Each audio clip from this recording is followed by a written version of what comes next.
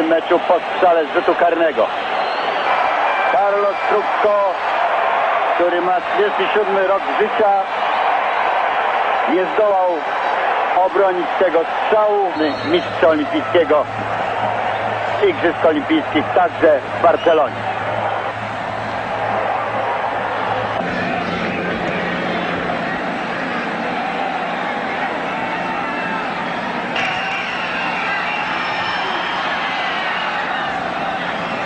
Niecelny. Penia. Melgar.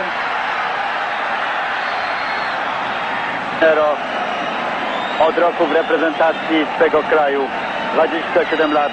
Partner klubowy Koseckiego. Atletico Madryt. Gra za Nadala, który w pierwszym meczu z Koreą został usunięty po kopnięciu przez Gojkocze. Carlos Trubko ma 37 rok życiem naturalizowanym w Boliwii. Gra w klubie, który jest monopolistą, jeżeli chodzi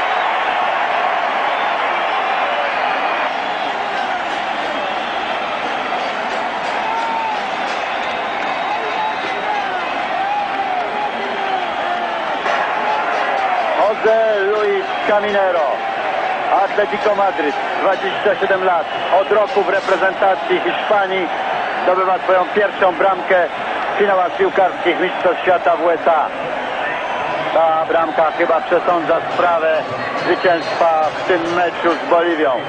Hiszpanie prowadzą 2 do 0, ale olbrzymią zasługę przy zdobyciu tej bramki ma lewy obrońca Barjuan Sergi grający w Barcelonie. To on przeprowadził dynamiczny rajd lewą stroną, wyłożył piłkę i zaskoczyła Sumizareczkę. A więc walka jak gdyby rozpoczyna się od nowa, bo Boliwijczycy mają kontaktową bramkę.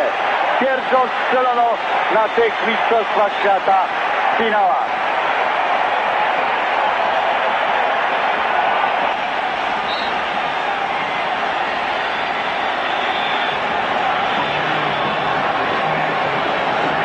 Boycotteur.